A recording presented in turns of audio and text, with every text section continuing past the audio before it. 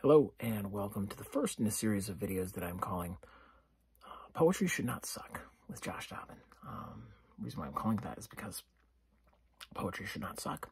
And yet, and yet, uh, when we learn about it in school, it often does um, because of the manner in which we, we learn about it. And uh, what they do is they hand us like the literary equivalent of formaldehyde-soaked frog, uh, where we're given this dead thing and we're told, cut it up into its component pieces, piece it out, uh, and see how it all connects. And and here's the structure, and here's uh, the underlying principle. But but you never get to see never get to see the thing in motion. You know, you never get to see the frog hop.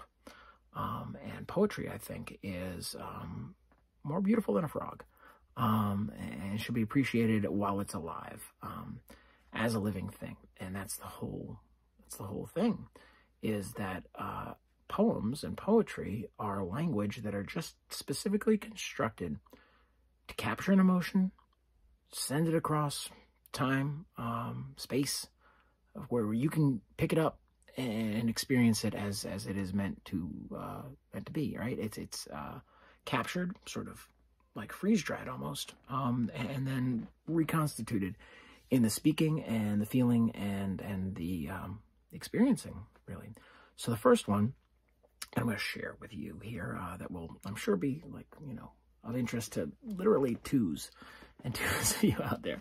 Um, but it, it's uh, it's by a poet, it's by a poet named um, named Robert Herrick, and he wrote in the 1600s, um, which would I would tend to think make you go, oh, this isn't going to appeal to me. Well, what does a 1600s guy uh, have to say to me here in the modern era? that's gonna, you know, what do we have in common? Well, you're both horny.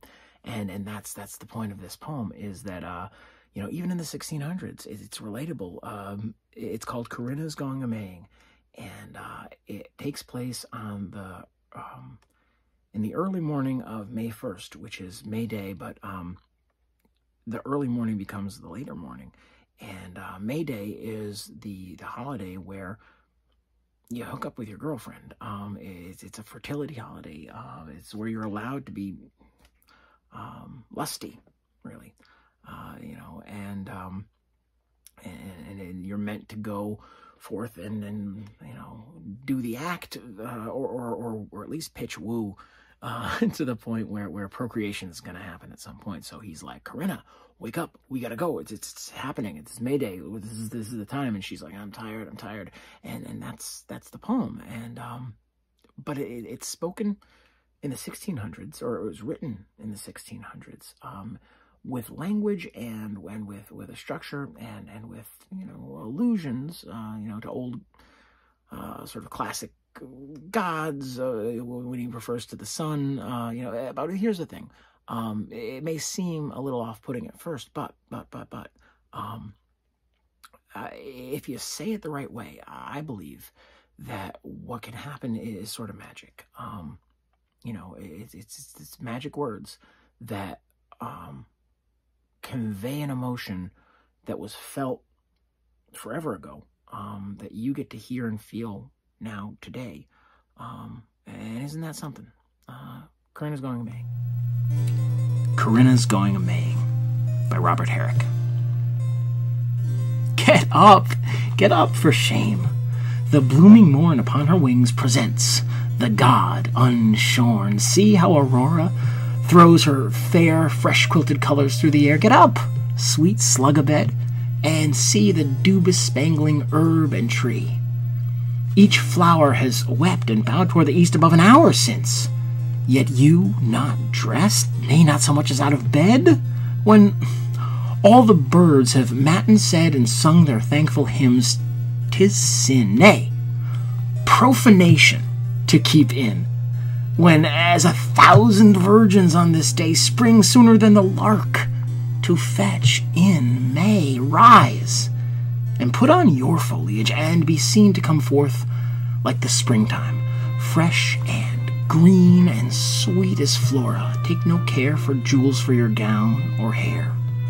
Fear not, the leaves will strew gems in abundance upon you. Besides, the childhood of the day has kept against you come Some orient pearls unwept, come and receive them while the light hangs on the dewlocks of the night, and Titan on the eastern hill retires himself, or else stands still till you come forth.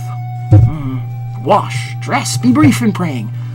Few beads are best once we go a maying. Come, my Corinna, come, and coming, mark how each field turns a street, each street a park made green and trimmed with trees. See how devotion gives each house a bough or branch, each porch, each door, ere this an ark, a tabernacle is, made up of white thorn, neatly interwove as if here were those cooler shades of love.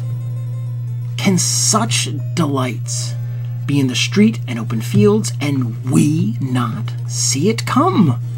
Will abroad, and let's obey the proclamation made for May, and sin no more, as we have done by staying, but, my Corinna, come, let's go a Maying. There's not a budding boy or girl this day, but has got up and gone to go bring in May. A deal of youth ere this is come back and with whitethorn laden home. Some have dispatched their cakes and cream before that we have left to dream. And some have wept and wooed and plighted troth and chose their priest ere we can cast off sloth. Many a green gown has been given, many a kiss, both odd and even, uh, many a, a glance too has been sent from out the eye, love's firmament. Many a jest told of the keys betraying this night and locks picked. Yet we are not a maying. Come, let us go while we are in our prime and take the harmless folly of the time. We shall grow old apace and die before we know our liberty.